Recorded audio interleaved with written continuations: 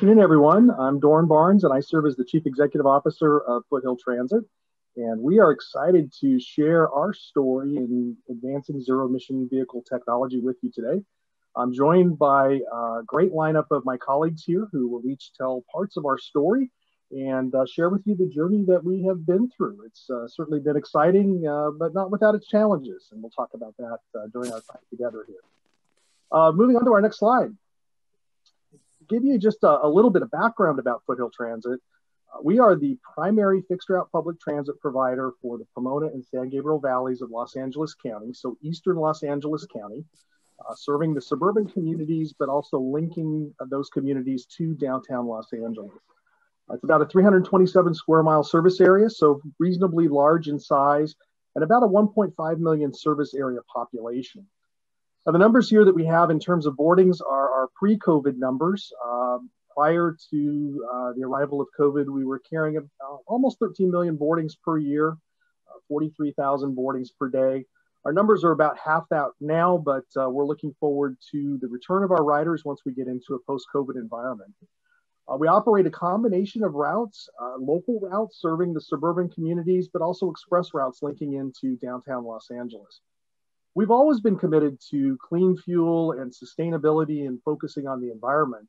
And of our current fleet, we have 343 buses that operate on compressed natural gas 32 buses that operate in our zero emission electric fleet. And that's really going to be our focus today.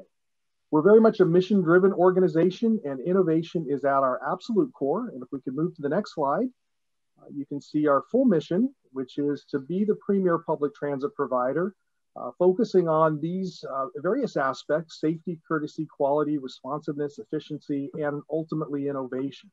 Each of these elements are incredibly important to what we do. Sometimes they push and pull against each other, but ultimately our goal is to do all of these things as we serve our, our communities. Moving on to our next slide.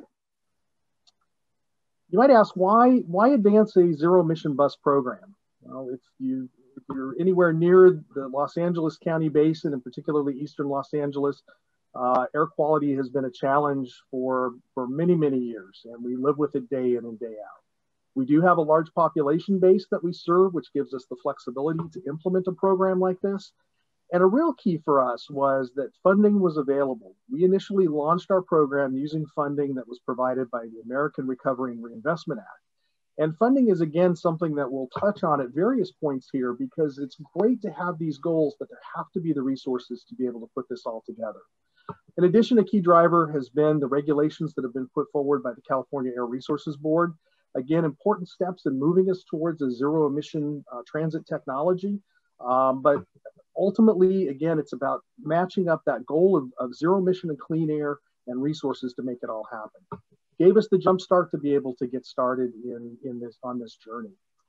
Moving to the next slide, certainly a key date in our history, September 3rd, 2010, over a decade ago. That's when we launched our first heavy duty fast charge electric buses on a line that operates between the cities of Pomona and La Verne. We were the first in North America to launch this technology.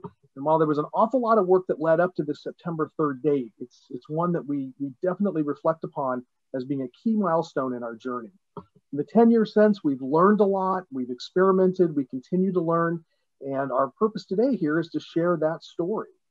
At this time, moving to our next slide, it's my honor to introduce Roland Cordero, our Director of Maintenance and Vehicle Technology.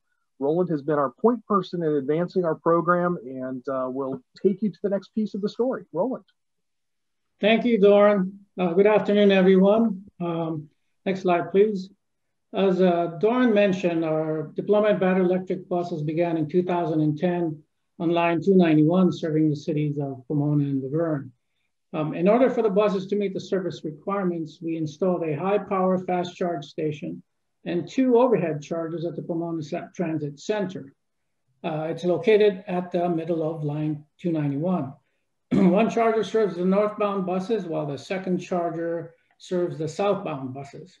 Over the last 10 years, we've charged our buses at the transit center over 200,000 times and logged 2.4 million miles on, uh, on our transit buses from operating on line 291. Uh, again, the Pomona Transit Center is centrally located on the route, and offers an off-street charging station with a charging height clearance of 11 feet 9 inches. Uh, the location provides a safe and secure manner of charging buses overhead. We operate 15 short-range fast charge and in-route Proterra bus from our Pomona operations facility. Next slide, please. Um, in 2017, we completed construction of two charging stations at the Azusa Intermodal Transit Center, adjacent to LA Metro's Gold Line station. They support 14 Proterra extended range buses operating on line 280. And this is our second fully electrified line serving the cities of Azusa, Puente Hills, and cities in between. Now, the chargers are used to trickle charge the buses to extend the range beyond 150 miles that we get on a single charge. Uh, some of the blocks in line 280 are over the 100, over 150 miles long. Uh, the 14 buses are Proterra extended range, uh, deployed from our Arcadia Irwindale facility, and we've logged over 1 million miles over the last three years of operating on line 280. Next slide, please. Um, on December 2019, we completed construction and installation of 12 60 kilowatt and one 125 kilowatt chargers at our Arcadia Irwindale facility to charge our fleet of 17 extended range buses operated out of that yard. The 125 kilowatt charger will be used to charge our two double deck buses. And this is our first high capacity in depot charging station. Next slide, please. Um, for safety and efficient use of space, the 13 chargers were located on two bus parking spaces rather than on every bu uh, bus parking space.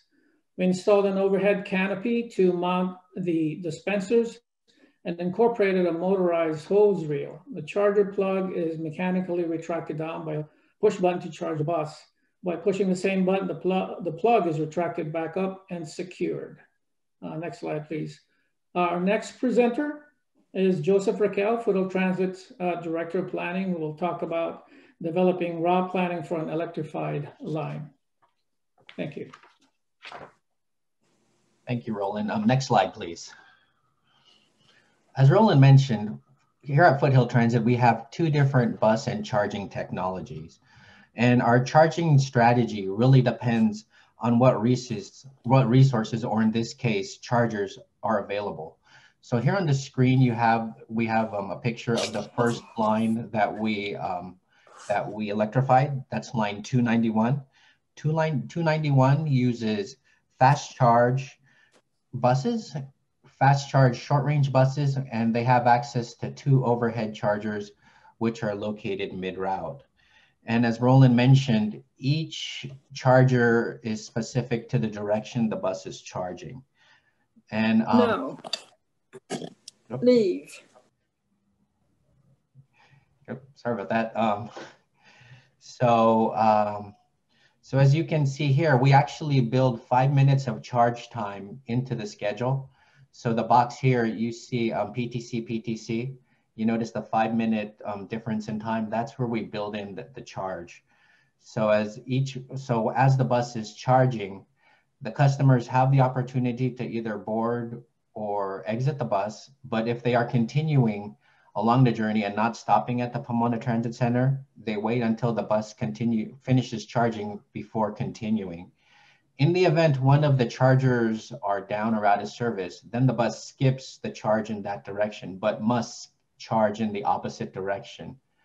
And in doing so, the state of charge is a lot lower than it would be if it had charged both ways. So the actual charge time increases from five to about 10 to 15 minutes, depending on the bus's current state of charge. And with um, a bus headway that's every 15 minutes, you can imagine what it does to the schedule downstream. Um, next slide, please. The next um, line that we fully electrified was line 280. Line 280 um, uses the long range bus, um, electric buses and also has access to two charging stations at the northern terminus. For buses assigned to this route, we use opportunity charge.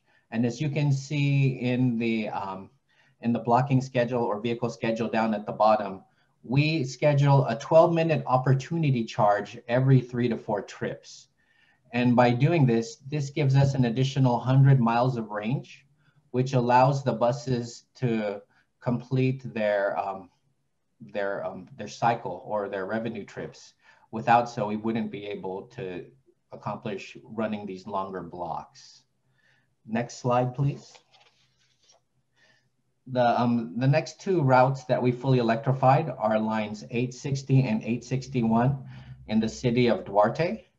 Um, these, um, this particular route uses the, um, the long range buses, but does not have access to any overhead charges out in the field. And a little background on this route, um, when we acquired these routes from the city of Duarte, they requested that we use all electric buses for these particular routes.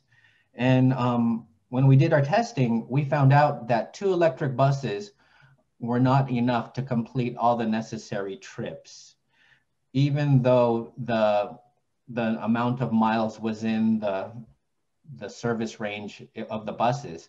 Now, why is that? On the northern parts of this route, of these routes, um, it's pretty hilly. So topology really plays a role. And um, because of the, the hills, it depletes the battery faster, hence you have shorter range.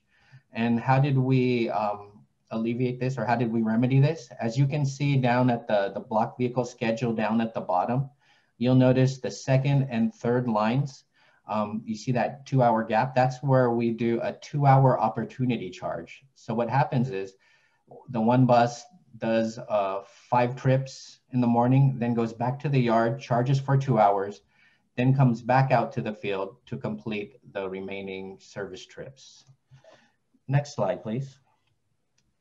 So some of the lessons learned, definitely lesson number one, test, test, test to see what the actual range of your bus will be because Foothill Transit's range will not be the same as say AVTA or Long Beach. And if you're going to do in-route charging, the ideal location will be at the, terminus, at the terminuses or endpoints and not in the middle. And definitely route variation and route characteristic really affects the range. And definitely test the vehicles on the different, type, different types of services you run. In our case, we tested it on both express and local, and then you see the results there and definitely charge the buses every opportunity you get to help extend the range. Opportun opportunity charging a bus throughout the day gave us an additional 100 miles, which enabled us to, to run a line 280. Um, next slide, please. Now I'd like to introduce um, our Director of Marketing and Communication, Felicia Friesema, who will now talk about our marketing strategy. Thanks, Joe. And thank you, everyone. Hello. Uh, for the sake of time, I'm not going to dig too deep into the weeds and give you a broad view of how we tackled the challenges that popped up while talking about zero emission bus tech to the public, but I am available to answer any questions that you have via email at ffriesema at foothilltransit.org. Also, you may have noticed, because I'm a marketing director, that a few of us have some Foothill Transit specific Zoom backgrounds. We've made those and quite a few others available to the public for download at foothilltransit.org slash share. Next slide, please. Now, there are as many ways to talk about zero emission bus technology as there are buses in our fleet, which is about 370. And in order to be effective, it was crucial to narrow it down to just two key goals in our communications. And of course, we drew directly from our mission statement, which Doran outlined earlier. We focused on enhancing awareness of safety and innovation. Audience always defines the message, and it became immediately apparent that our two key audiences, the general public and our direct stakeholders, had somewhat different priorities and needed different narratives. As with any new technology or scientific advancement, the public first and foremost wants to know that it's safe. And once you've provided ample reassurance through science and demonstration, they now have the room to be amazed. And once amazed, the customers ultimately just want to get where they need to go safely and without fuss. The bonus is that the ride is now much quieter than before, and it makes for a much more comfortable commute. Now, our stakeholders, they want efficiency and a better experience for their constituents and they want sustainability and not just the environmental kind. Is the technology fundable? And then ultimately, who will pay for it? Next slide, please. Now the tools of our communications are pretty standard. There are the digitals and the press outreach. I'm highlighting here some of the materials that we created specifically for grant applications and lobbying information. These fact summaries help sculpt a positive and professional narrative that takes zero emissions bus technology out of a pie in the sky territory and into the yes, we can narrative. And it has worked. The purchase of our latest zero emission bus fleet vehicles was funded in part by a Metro Express, Express Lanes grant. And I should stress here that collaboration is also absolutely key with your internal teams. The communications team is in constant contact with planning, with finance, with our vehicle tech teams, all to make sure that our stories are accurate, current, and compelling for our targeted audiences. Next slide, please. A zero emission bus branding is different, but actually the same. Our service should be seamless to the customer. And again, we touch on safety and innovation in all of our public communications. As you can see on the top picture, this is our standard livery, and on the bottom is our zero emission bus livery. There's just enough difference to show that one of these things is not like the other, but they both definitely belong to Foothill Transit. And again, the bottom line is the customer mostly just wants to know that it works. We want them to know that not much has changed, but what has changed will make their commute and their communities better. Next slide, please. The result is that Foothill Transit is world renowned for being a leader in zero emission bus technology that's eager to share best practices to advance sustainable transportation technologies at home and abroad. Our successful deployment of this technology has also positioned us to more successfully obtain funding and to keep this project evolving and growing. The success has also led to one of our member cities, which Joseph just mentioned. Uh, the city of Duarte asked that we run their city system entirely with a zero emission bus fleet. The success will again be amplified with the upcoming introduction of our nation's first ever electric double deck bus, which is coming to an LA County road near you, slightly teased in the picture here. Next slide. I'd like to now introduce our Director of Finance, Michelle Caldwell. Thank you, Felicia. How in the heck does finance follow marketing and communications, huh? okay, um, next slide, please. So as you've heard, uh, we were one of the leaders in the zero emission bus technology. And while that's great, it doesn't give you a lot of um, best practices to follow. So one of the things that we did was in 2018, we uh, engaged a consulting team to assist us to consider all the issues and the elements of this new technology.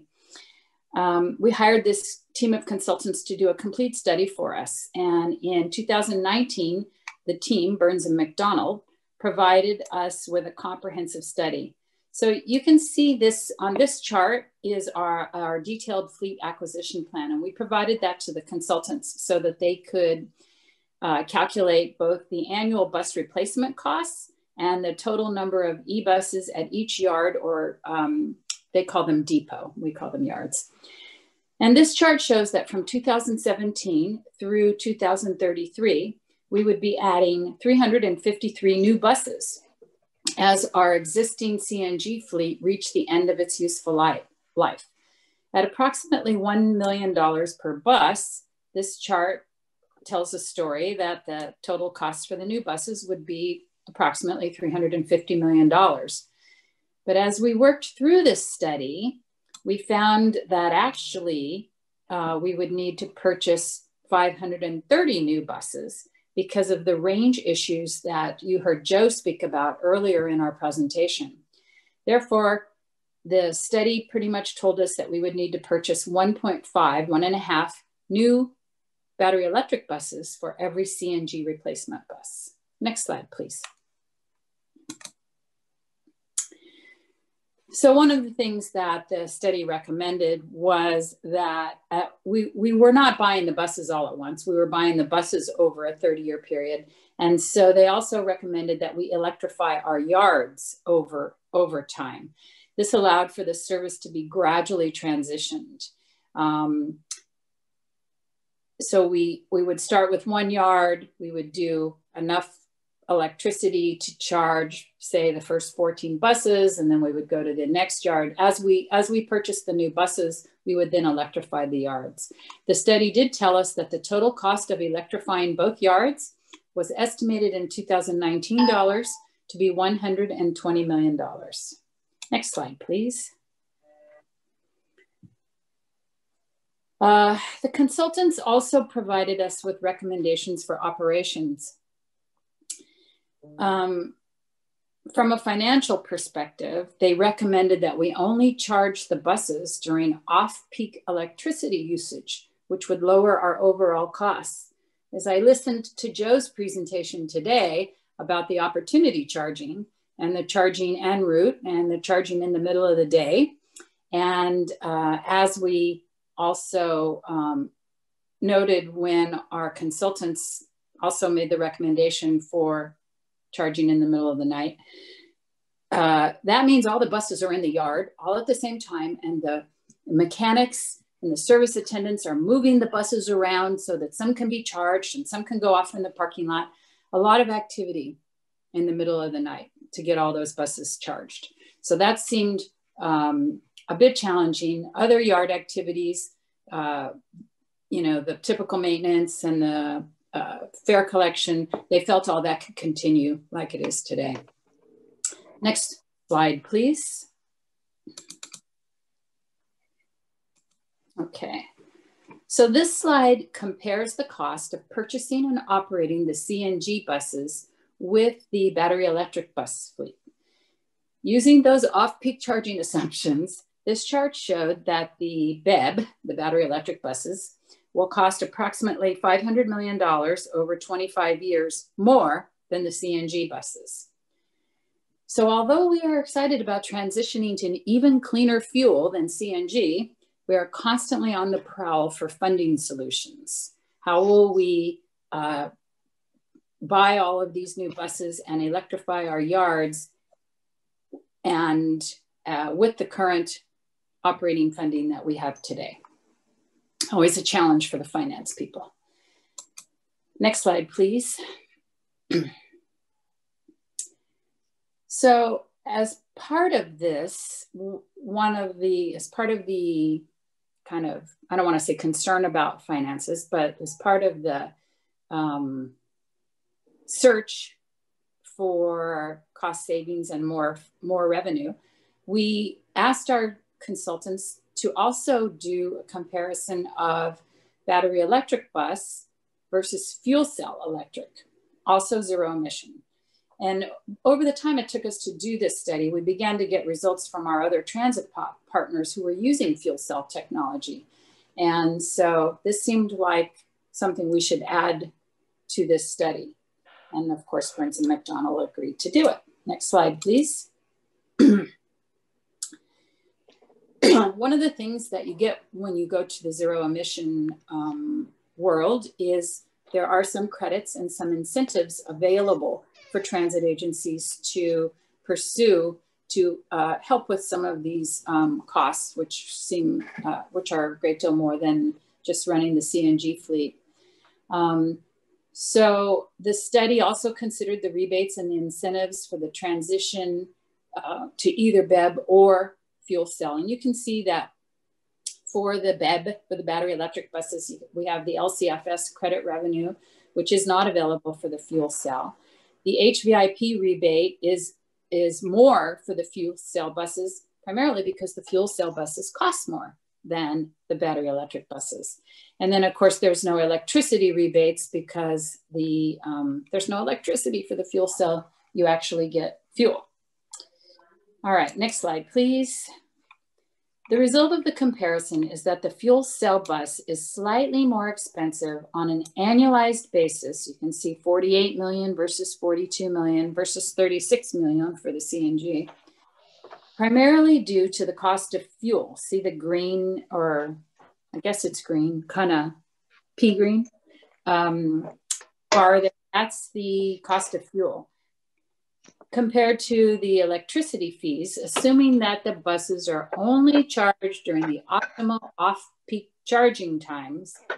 And also this assumes that the fuel cell cost is not discounted, we used the current cost of uh, fuel that our um, our partners, uh, AC Transit and Sunline Transit, uh, were use, are using for their, or OCTA, are using for their um, fuel cell. So that was the result of the study and the financial result. And now I'd like to turn, oh, next slide, please, sorry. now I'd like to turn the presentation over to Kevin McDonald, who will discuss our current path forward. Kevin? Thank you, Michelle, and good afternoon, everyone. I'm Kevin Parks McDonald, and I serve as Deputy CEO for the organization. I saw a question pop up earlier about um, uh, whether we had considered fuel cell, and thank you for that question. Uh, next slide, please. Since we began our zero emissions journey back in 2010, our zero emissions fleet has been made up entirely of battery electric buses or BEBs. And as you've heard from my colleagues, we've experienced some range and operational challenges with deploying BEBs on a subset of our lines. Uh, as we've looked to our neighbors at Sunline and OCTA and others, their fuel cell deployments show promise to address these issues. Additionally, putting all our eggs in the B BEB basket could severely impact our ability to deliver service in the event of a loss of grid power at one or both of our operating facilities. Michelle just highlighted some of the uh, findings of the Burns-McDonnell study, including the cost and the complexity of infrastructure construction uh, and the operational challenges as some of the major challenges to operating a fully battery electric fleet uh, for a fleet of our size, uh, 375 buses. At the operating facility, the mechanics uh, or the logistics, I suppose, of the hydrogen fuel process will be very similar to the process of uh, fueling a CNG bus with each bus taking uh, about 15 to 20 minutes in the fueling lane. Next slide, please. So how exactly does it work? Uh, this video shows that it's produced by New Flyer Industries, gives a good high level overview.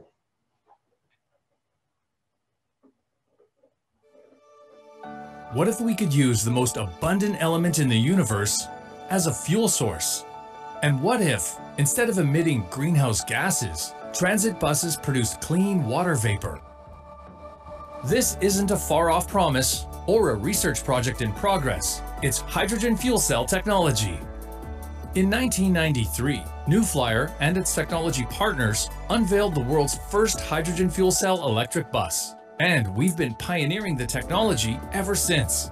It's safe, reliable, and it's making public transportation cleaner.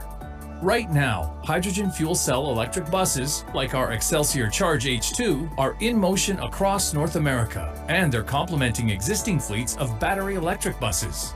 But why invest in hydrogen? What makes a hydrogen fuel cell electric bus different from a battery electric bus? To answer that, let's take a closer look at how it all fits together. A hydrogen fuel cell takes compressed hydrogen from the fuel tank and combines it with oxygen from the air. This process produces electricity, heat, and H2O, which leaves the tailpipe in the form of clean water vapor. The fuel cell functions as an onboard charger, providing power to charge the batteries while the bus is in motion. This eliminates the need to recharge the batteries at the depot or garage, and it extends the range of the bus up to 350 miles before needing to refuel. And refueling hydrogen is a breeze. It takes as little as 12 minutes to refill a 60-foot fuel cell bus, and only half that time for a 40-foot bus. Hydrogen is also incredibly clean and can help you further reduce your carbon footprint. Just one bus can save hundreds of tons of greenhouse gases every year. That's like taking up to 29 cars off the road or planting up to 5,600 trees. It's time to take advantage of this zero emission solution.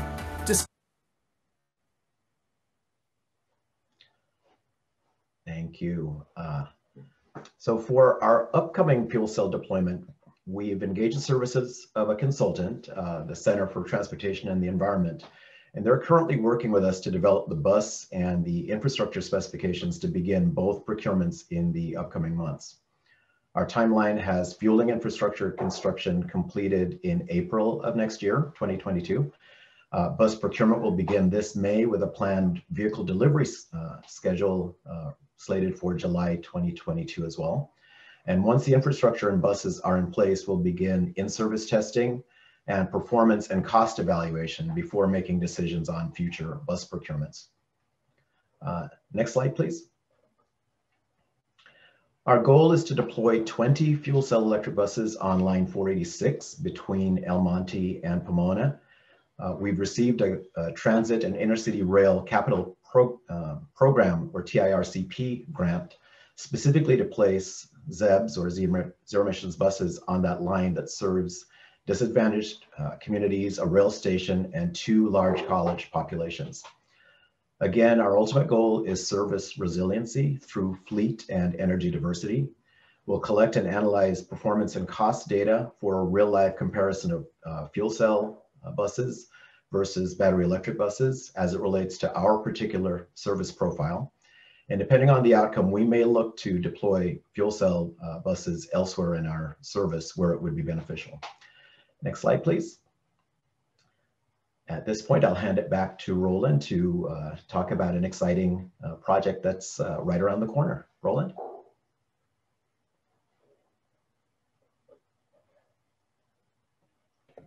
Next slide, please. Hi, good afternoon. I'm really excited about our double-deck electric bus. Project uh, started in October of 2016 when we demonstrated the diesel version of Alexander Dennis's double-deck bus in our Silver Streak route. We ran this for about a week, uh, operating the bus from Montclair Transit Center to downtown LA, and we were able to clear all freeway overpasses, utility lines, as well as tree branches. Customers' reactions were overwhelmingly positive. Um, this is our first two double-deck battery electric bus built by Alexander Dennis, and they arrived uh, on the 20th of, this month. And this is another first for Foothill Transit, as no other uh, transit agency operates double-deck battery electric buses in the US. Uh, these high-capacity buses uh, facilitate the transport of more passengers with a single bus, while also reducing our impact to the environment. And by the way, uh, they also offer a smoother ride than our fleet of 60-foot articulated buses. Uh, buses are equipped with a 648 kilowatt hour battery energy with expected efficiency of three kilowatts per mile or 200 miles of range on a single charge. Uh, next slide, please. Uh, the next slide contains a video on our design review and testing of a prototype double-deck battery electric bus.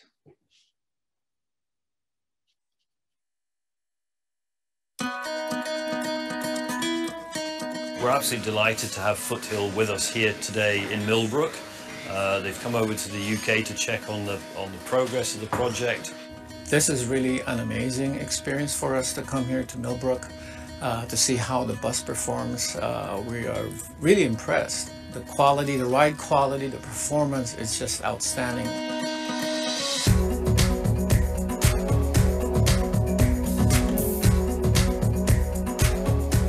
ADI has been an amazing partner since the beginning. They, they've listened to what we're looking for in a vehicle.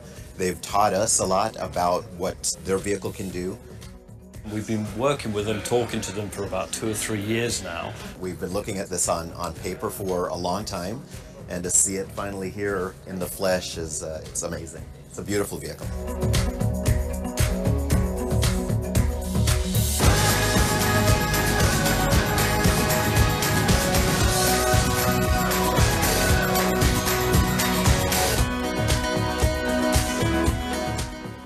Example here is our engineering test vehicle. So this gives us the opportunity to fully prove out all of the batteries, all of the thermal systems, everything around the unique systems that make an EV. What I love about the 500 is the design, first off. I mean, it's really eye-catching design, and I think with our livery uh, you know, applied to it, it's, it's really going to catch the attention of folks in the Los Angeles area.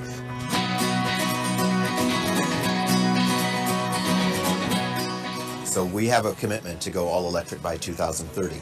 We thought this vehicle would be would be ideal to take a lot of people, small footprint on uh, the Los Angeles freeways.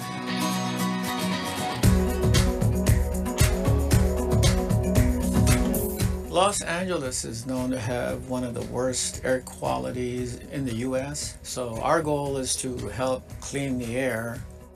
So the benefits are clearly a low emission vehicle, zero emissions It deals with congestion. You can take 85 passengers fully seated on the bus, takes away 85 cars on the road.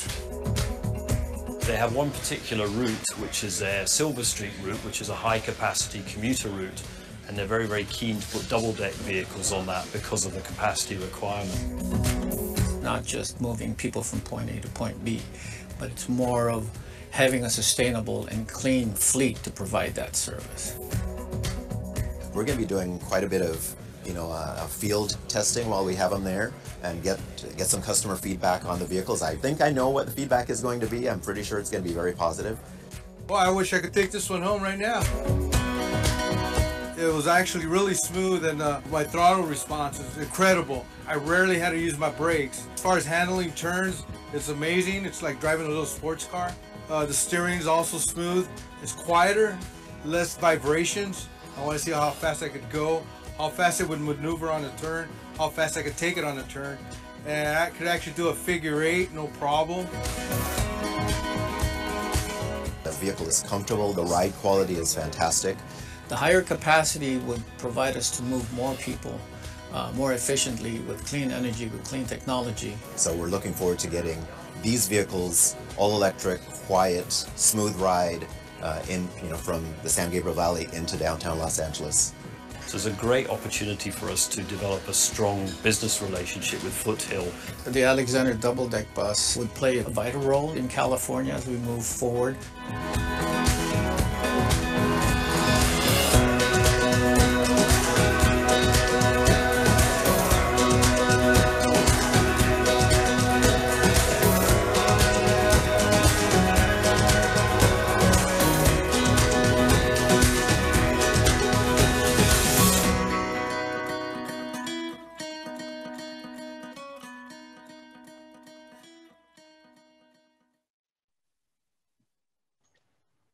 Great. I, I think that was a just a really great video. So, um, and of course, really great presentations from all of our speakers. I think it's really inspirational the work that Foothill Transit is doing to advance zero emission vehicle technology uh, to to move people around uh, the Foothill communities there. So thank you for your presentations.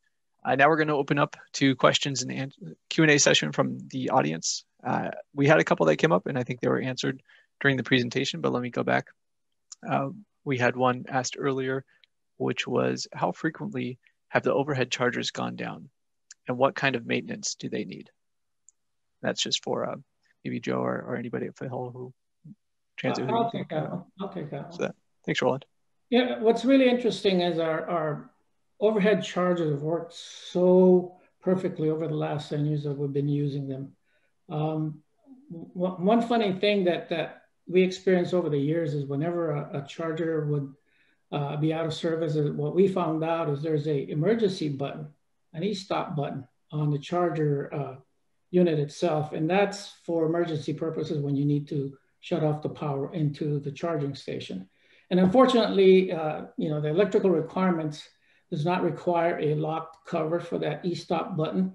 And we've had few people that would normally, that would press that button on a regular basis, not a regular basis, quite often. So that was our early issues in the beginning. So what our approach was, we put a sign above the e-stop button that the charging station was was uh, being surveilled with the surveillance cameras, and that cut that down drastically. Uh, so that was the only issue that we've had. In terms of maintenance, uh, we contract with Proterra for the maintenance of the uh, chargers, uh, since it's their proprietary technology. Um, there's a monthly uh, inspection, just looking at all the wiring connections, the brushes and so on. Um, um, there's a um, uh, every six month inspection, which covers more than what they normally do, uh, looking at programming, look at the energy, uh, checking out the, the, the charger uh, capacity itself. And then there's an annual, which is a, a larger uh, maintenance work where they have to take the charger and bring it down kind of look at it, look at all the, the wirings and the communication system. So that's, that's more of a, of a um, I'd say uh, more involved uh, inspection of the uh, charges themselves. But overall, we've been happy with, with how the system works and uh, we've been able to charge our buses on the Pomona Transit Center for the last 10 years.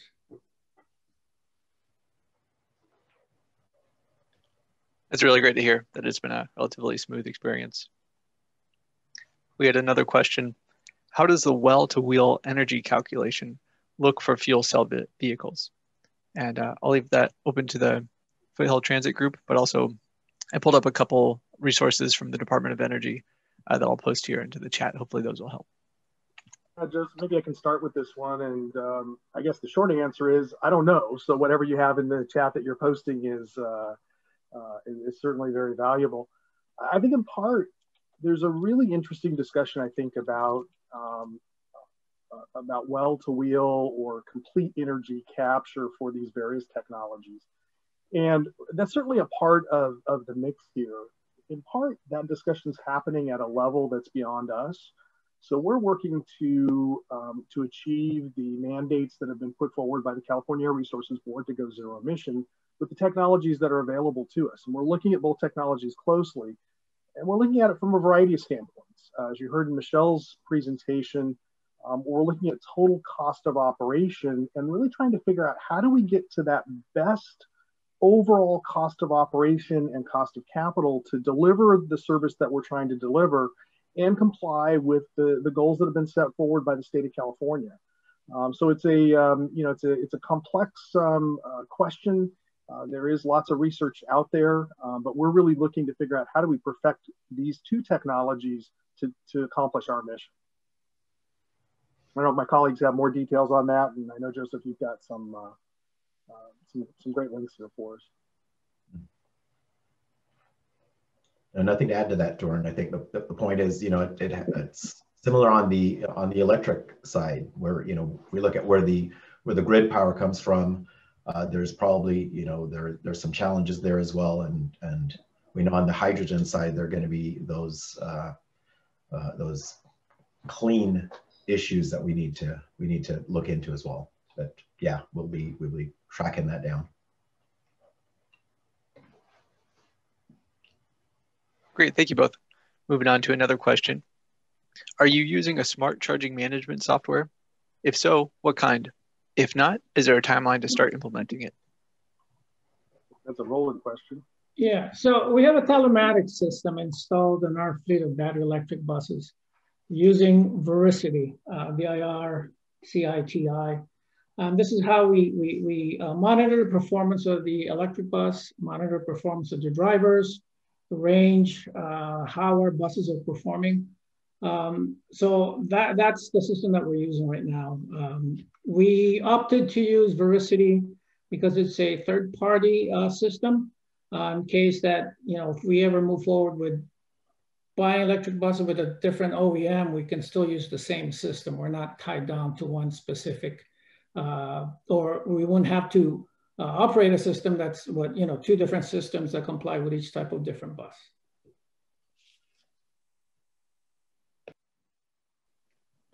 Great, thank you, Roland. Our next question is, how did Foothill Transit handle maintenance facility upgrades needed to charge zero emission buses, uh, battery electric buses? Did the improvements get phased in or wasn't, or were all improvements required uh, all at once? And did the modification to the existing facilities require major upgrades on the utility side of the meter? So for our uh, overhead charging station, uh, we uh, partnered with Southern California Edison.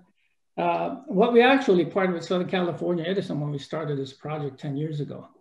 Uh, not just in our facility charging stations, but also at our, our transit center, Pomona Transit Center, and uh, at the Azusa Transit Intermodal Center. For in-depot chargers, uh, we applied, we were one of the four transit agencies uh, that was part of the pilot program for the Transport Charge Ready program. And uh, Southern California did a lot of the work in terms of the infrastructure, uh, utility requirements from the transformer all the way up to our, our bus parking lot uh, Proterra, who provide provided us with the chargers, um, basically built. I mean, they had they had their system, and all I had to do was to connect to to the grid. So a lot of that work in terms of uh, specifications for utilities, wiring, electrical connections was all done by Southern California Edison. It was a great partnership for us. And uh, I think they're moving forward with a second uh, group of uh, transport charge ready program that uh, I, would you know, recommend for everybody to apply for that because that was a lot of a lot of uh, headache that was taken away from us uh, with, with the utilities doing all that work, including permitting, setting up the plans and whatnot. And Joseph, to, to add to that, um, and a, a, shout out to our, our colleagues at Southern California Edison, um, they have been really, really important partners and um, really engaged with us in terms of, of working through this journey. We're very grateful for their help. Um, I think one of the one of the key takeaways from uh, from our journey has been um, when you're looking at grid powered equipment, working with the the utility from which you will you will draw that power is absolutely critical to success. Um, the vehicles are different; they're way different than CNG buses, different than um, diesel powered buses but it's not the bus piece of it that we found to be the most the most complex. It's the you know how are you going to charge these things? Um, so again, uh, our thanks to the folks at Edison and for anyone who's looking at these technologies, whoever your underlying utility is, engage them early and um, uh, gain their partnership because it's it's crucial to to the success of a program.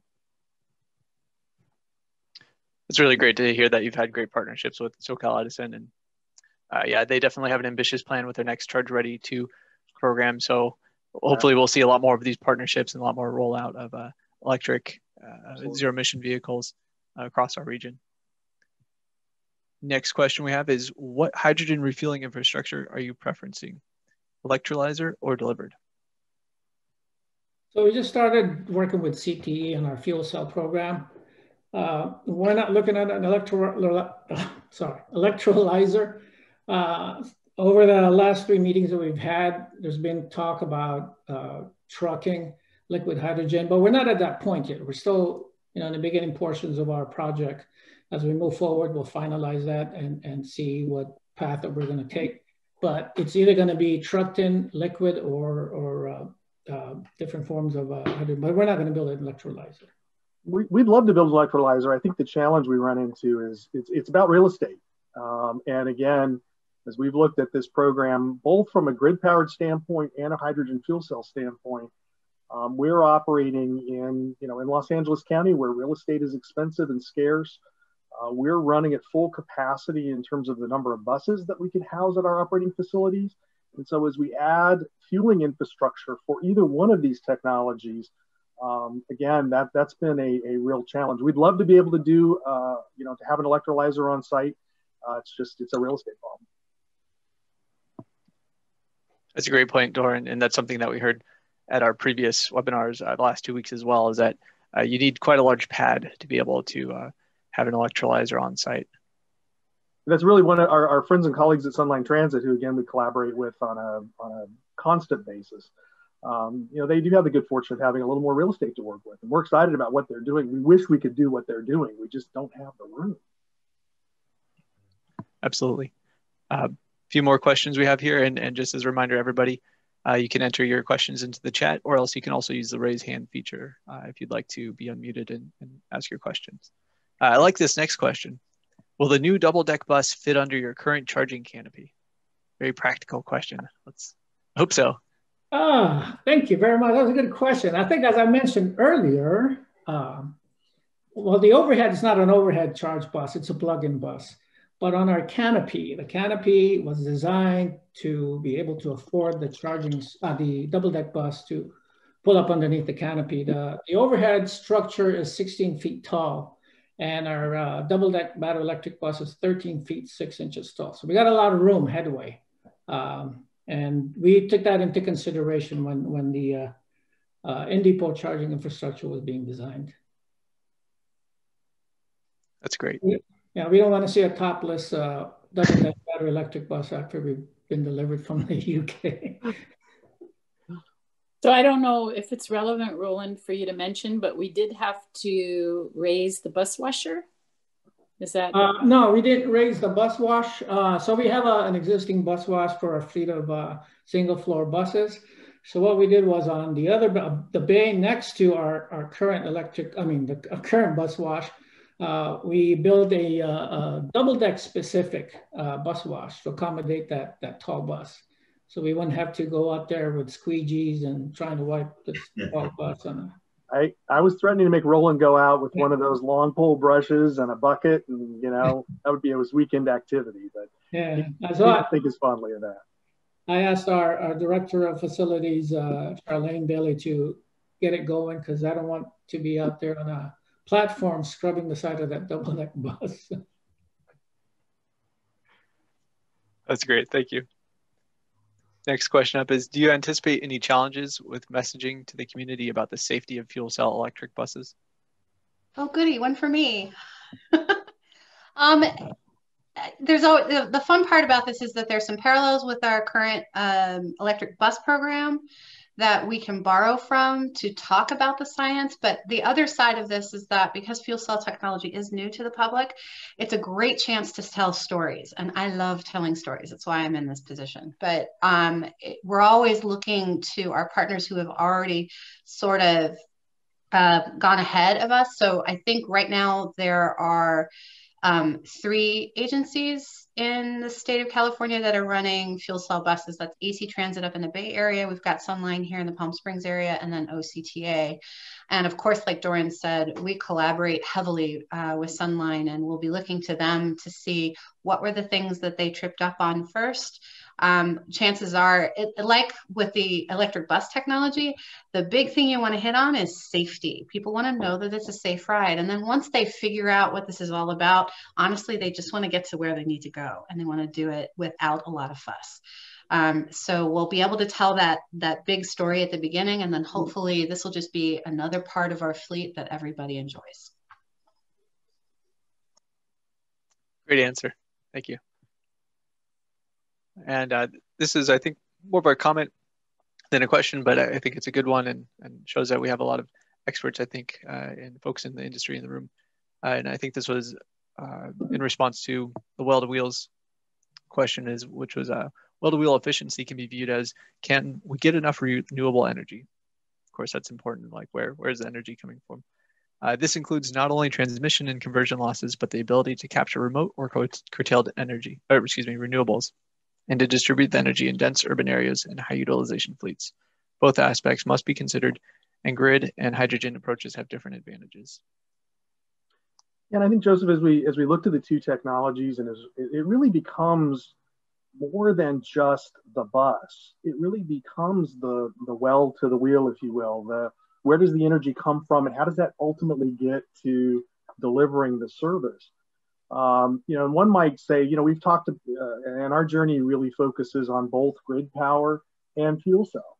And so, you know, a question that might come up is, okay, Foothill Transit, which way are you going? Are you going grid or are you going fuel cell? And I think the answer is yes, we think. We're not quite sure, but we think. Um, and that's really, a, a, I think, a key, a key point in where we are in this journey, where we're looking at both of these technologies. We think both of these technologies have a place in our transit delivery program, there's more work to be done to perfect the technologies and really optimize their use for different types of applications. The other part that we've got to continue to be focused on is again that that beginning to end cycle. So it's not just about the bus, but it's where and how is the power being generated? Um, is it coming from a renewable source or not? As we know, the California power grid, the aspiration and the goal is to be completely green. We're not there yet. So we've got to keep pushing on all of these different fronts to really get to that that true ultimate goal of being zero emission, you know, from beginning to end and having the ultimate environmental benefit. It's it's a complex challenge. It's um, you know, it's one we've got to continue to lean in on all aspects of. Really great points there. Uh, and yeah, that's certainly a question we see a lot: hydrogen or battery, which which is it going to be in all of the above right now. Yep. Um, I don't think this is a for for us older people like me. I don't think this is a VHS beta discussion. I think this is. Um, I think we're going to have VHS and beta, not one or the other. I think. Now, who knows? You know, five years from now, we'll come together and we'll know more. Um, but I personally think this is going to be a combination. I think I think all of these solutions have to be applied to the challenge. Absolutely. So I, I don't currently see any questions Oh, okay. I see one. Um, and my household has one BEV and one fuel cell. There are advantages of both, and I think it's wonderful that you're pursuing both. Yeah, definitely. Uh, I have a couple of questions, and, and the, to our audience, please feel free to keep uh, typing your questions into the chat box. Uh, and I'm curious, what was your so you've been um, now doing both uh, battery and, and, fuel cell. What's the public reaction been to adopting zero emission vehicles? And uh, is that something that the public has been excited about, or or is it more just kind of swapping it out? Uh, you know, one bus to another. folks care more about where they're getting to where they need to go rather than the actual vehicle doing it. Kevin or Felicia, do you want to tackle that one? I'll I'll start on that one. I know one of the you know the early uh, experiences we had with deploying the fast charge buses on line 291 in Pomona, and line 291 it's a it's a it's a real um, workhorse for us. You know, there's a lot of uh, boardings, lots of ons and offs, uh, high ridership on on that line. And early on, we discovered that some customers didn't even realize they were riding an electric bus um, you know, we, we, would ask, what, how do you, how do you like the bus? The, the electric bus, it's like, oh, I didn't even know it was electric. So we, we kind of recrafted our, our branding on the outside to, to, to bring that more, more to light for customers, just so they would, they would know it. But, uh, you know, the other side of that was, that was to a certain extent a good thing. You know, they, they just wanted to get on the bus and get to where they were going and that was happening. And so, you know, so there were some pluses there, but we did want to kind of target that, uh, that messaging. So maybe Felicia, if you want to, want to add on anything there. Yeah, I do actually. There was a story that I'll tell you. Um, we had started when we opened up the the north south route the from Azusa. We that Azusa Intermodal Transit Center is actually also the uh, start and end point for line 187, which goes into downtown Pasadena and we had started to build in some electric bus usage on that line into downtown Pasadena. And it was just sort of part of our normal scheduling. We didn't think it was a big deal until the reporter from the Star News saw it in Pasadena and said, it called me up and said, Hey, uh, so I just saw this bus in downtown Pasadena and it's all electric. And why didn't you tell me? Um, and I felt a little bit sheepish and I apologized. I said, well, I, and this is where collaboration helps. I didn't check with my team to see if we were putting in downtown Pasadena. Um, but uh, he was very excited by the fact that our electric bus was the first electric bus in the city of in the use in the city of Pasadena, and it became a big story.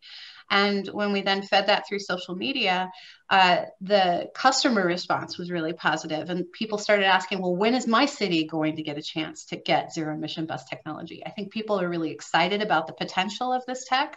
I think people recognize on a lot of different levels that it is a quality of life improver in communities because it reduces sound, pollution and it also reduces local air pollution. So um, there's a couple of different narratives you can hit with that. I think ultimately it does transition. There's excitement at first, and then eventually it's no big thing. And as long as it keeps working and getting people to where they need to go safely, um, that's ultimately what people care about. That's a really great point. And I think we heard, I think it was Joe earlier who told us that uh, Duarte was the first city to say, hey, we want these uh, electric lines to come here. Have you? Uh, so it sounds like that's kind of becoming more widespread that other cities, uh, in addition to Duarte, are asking for these electric lines. Uh, and Joe, I think you also said that we have uh, you have four lines that are wholly electrified right now. Uh, is there a plan to electrify other lines, or are you going through a strategy of um, mixing them in into other lines? What's what's your approach there? Actually, um, kind of like what Felicia was saying, we've um, interlined um, some of the vehicle blocks on line 280 or some of the vehicle schedules. So we actually do have a smattering of the electric buses on other lines. They may not, these um, other lines may not be fully electric, but but they do have them. So we have um, line 187, which as Felicia mentioned, goes from Azusa to, uh, to Pasadena and it also goes along, um, I believe I, have seen it on 178, which goes through the city of West Covina. So kind of like what Felicia was saying, it, it's kind of a kind of a hit and miss, find the electric bus. But um, this kind of helps us to to kind of test the buses, you know, really put it through its paces to make sure it can be used fleet wide and just not or system wide and not just for a specific route. And, and really, the next step in the journey is to um, to deploy the other zero emission bus, the fuel cell buses, which will be our next group of 20 buses coming into the fleet. Again, much in the same way. We have one particular line that we're planning to concentrate those, those vehicles on, uh, but we're also looking to deploy the fuel cell buses on other routes to see what their performance is. Um, so, you know, right now it's sort of, you know, spot the, um, the, the grid powered zero emission buses in the fleet. There's 30 out of 370. But as the numbers grow, it'll be easier to spot them, whether it's a fuel cell bus, whether it's a grid powered bus, but there'll be more of them in different parts of the community. And that's, that's really cool. Yeah, maybe it'll eventually be flipped. People will be like, oh, whoa, a CNG yeah, bus. Look at that. that old bus. How old school. exactly. And Michelle, as we make this transition, what do you think uh, the uh, how much of, of, importance do you think uh, subsidies and help from state government, maybe also the federal government, will will play? And, and do you see that something that that assistance can eventually be phased out in the next couple of years, or how do you kind of see that uh, that playing out? Wow. Um, are we almost out of time? I don't know. Uh, so, my dream is that the assistance would increase as we go through the next years. That in fact, the users of transportation will not have to pay more to ride cleaner buses, which uh, benefit the whole region, which benefit the whole state, which benefit the whole area that's deploying them. And um, so, how we will pay for those increased costs uh, is I don't know, but I I one of the things that happens frequently. I've been in government um, just a few years, and we get mandates, and we in finance call them unfunded mandates. It's like, okay, you will have all electric buses by 2030. Really? And where's the revenue going to come from to pay for those buses? So I'm hopeful that our, our progressive leadership in both the state and the federal, the feds, go Mayor Pete, will, um, will help us to have the kinds of revenues that we need, the kind of funding programs that we need to um, enable us to move swiftly towards this very important goal. Maybe I should run. Well, and uh, one one little side note on that, Michelle, you're going to have to change your vocabulary because as of today, I believe it's, you should yeah. refer to him as Secretary Pete. So, yeah, he's not Mayor Pete anymore. Okay, woohoo! Right.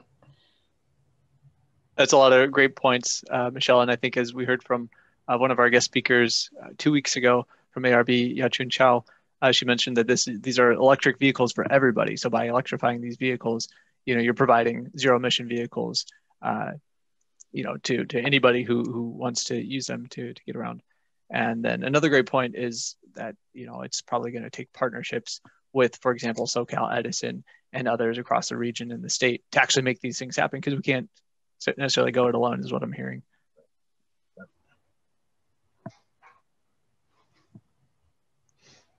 All right. Well, I'm seeing a slowdown on the questions in the sidebar.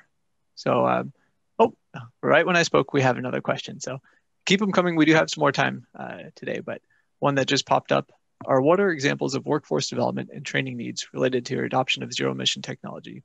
And how have you addressed them? Rolling question for sure.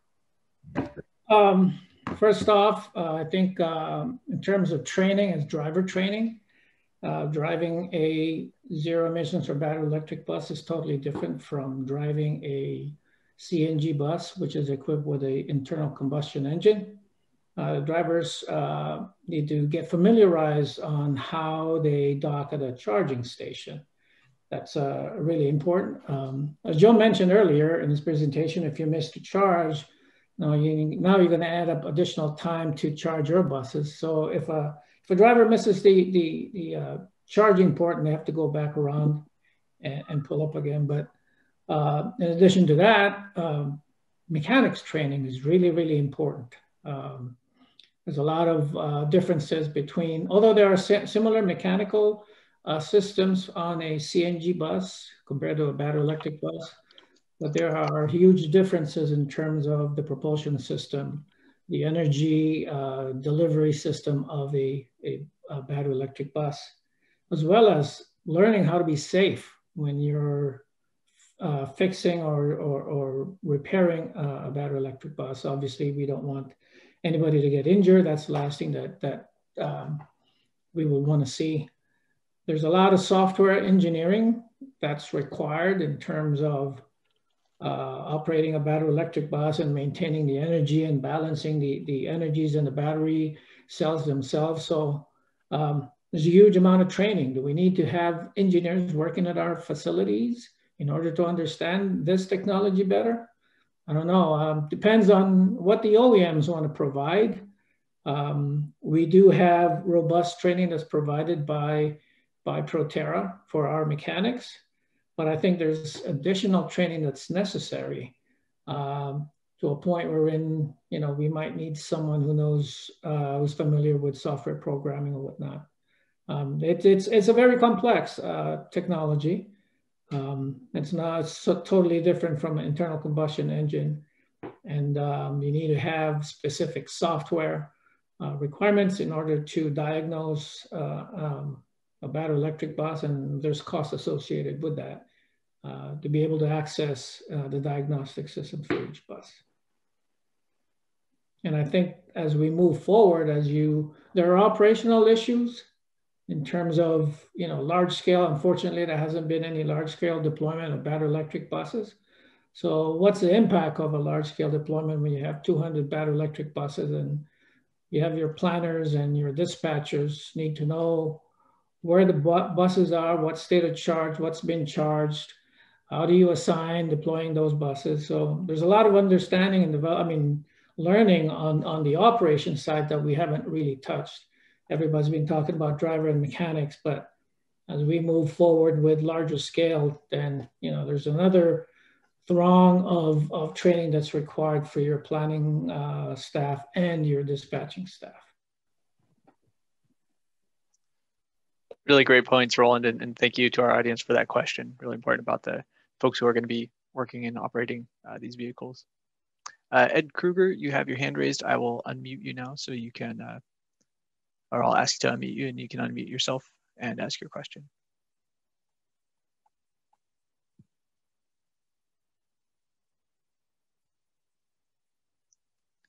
And while you un unmute I'm yourself. Unmuted. Oh, I'm unmuted. I just asked if the webinar would be available, and you answered that on a chat piece with us that we'd be able to pick it up because the information that here is very well presented and interesting to a lot of people.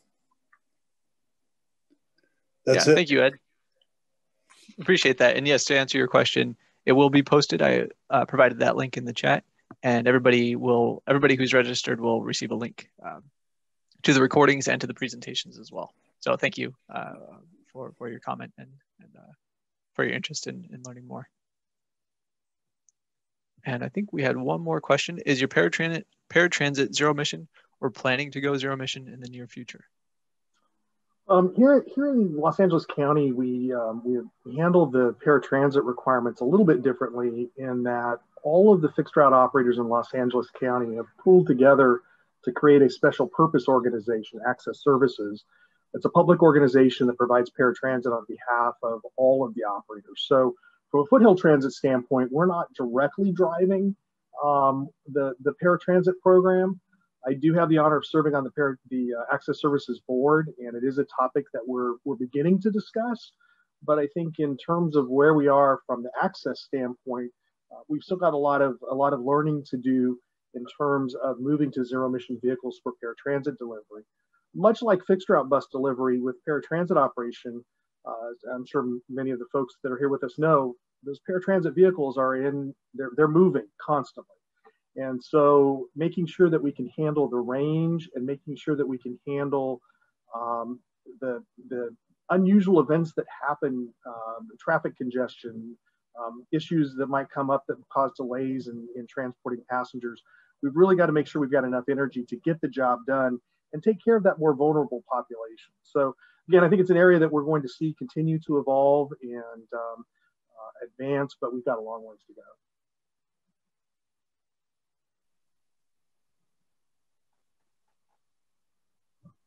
That's great. I'll put out a final call for for any questions from the audience. We're getting in, into the last 14 minutes or so of the presentation or of our um, time today, but I'll give a quick last call for questions.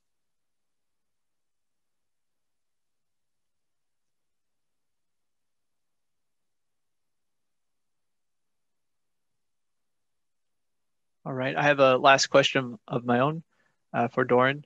So now you've been operating electric buses since 2010. And uh, with that experience, with over 10 years under your belt, uh, what are your biggest takeaways that you'd like to share with the audience? Well, we, we, we've made a lot of progress. We've, we've tried a lot of different things. We've learned a lot. Um, I think in terms of, of, of takeaways, um, th this is a space that continues to evolve and we all have to lean in together to work together to figure out how to optimize it. Again, we've learned a lot um, we share and collaborate constantly. And um, really, it's, it's forums like this that are so important to advancing uh, towards this goal of a zero emission, uh, sustainable, clean future. And, and Joseph, to, to you and all of our friends at, at SCAG, thanks for, for, for putting this series together because it's really here that we can share the information and learn from each other. Um, there, there's a lot more to be done. And um, you know, we, we've still got a lot to learn as, uh, as an industry, as providers to, to ultimately optimize the technology and accomplish the goal that we've collectively set out to towards accomplishing. We're excited about the future. We're committed to making it happen. Um, but the other thing, and, and, another another key takeaway here, we've talked about this at a few points. Um, we can be committed, we can be excited, we can be supportive, but we've got to have the resources to make it happen. And that's the other part of it. Um, Without the resources, it's just a dream. With careful investment of resources, and that's resources at all level, at the local level, at the state level, at the federal level, we can get there. Uh, but we've got to be able to pull together, to collaborate, to make those investments to make it all happen. Those are really fantastic takeaways, Doran, and, and I think uh, I hope our audience has a lot of takeaways of their own from from this event.